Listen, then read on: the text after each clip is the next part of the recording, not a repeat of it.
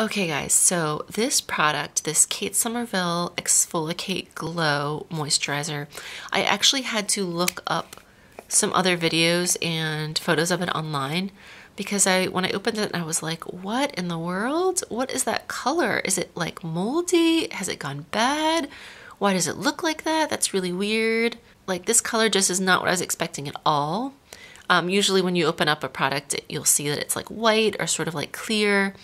Um, but this has sort of like a greenish, sort of an odd kind of like greenish tint to it. Um, but when I did look up pictures of it and um, other reviews of it, I did see that other people had this same color. so, um, and I haven't had any other indication that there's anything wrong with it. It smells fine, it looks fine, it works great. So, um, I think that this is normal. So, don't be alarmed if you see this color in here. Um, and I did get this in BoxyCharm, so it was a great, great uh, deal. So, I will need to say that.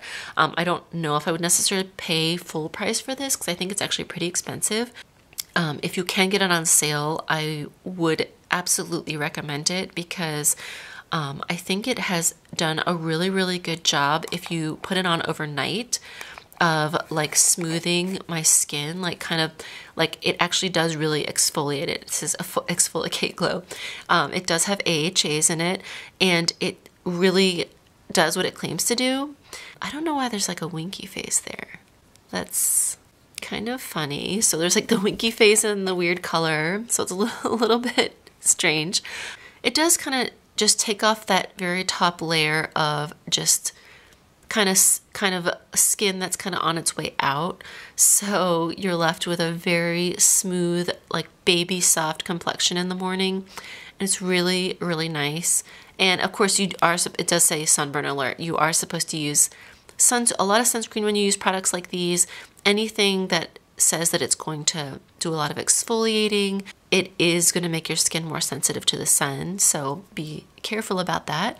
And um, yeah, this has been a really good product, and I have generally really liked the Kate Somerville products that I've tried so far, um, especially their goat milk cleanser and this product. I have absolutely been enjoying a lot, and I've used this quite a while, quite uh, a number of times. And as you can see, I still have a ton of product left. So that's really, really nice. And as for the scent, you know, it vaguely reminds me of like the scent of a of a clay mask. It's like slightly the scent of a clay mask, but then like slightly citrusy, I want to say. But it does definitely have a faint scent to it. And yeah, um, let me see the show you the consistency. It's pretty thick.